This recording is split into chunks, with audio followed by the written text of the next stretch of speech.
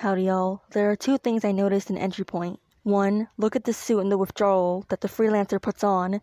It's super wrinkly. No other clothing is like that. This is the only clothing that is like this. Plus, the pants extend over the shoes.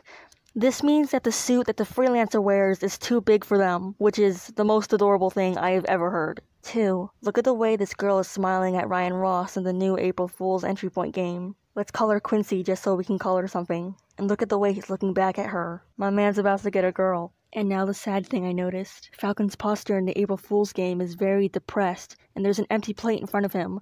Lack of appetite is a symptom of depression. Though this isn't enough to confirm that he has it, it's still a behavior that some people perform when they're sad, which helps prove my Falcon theory more.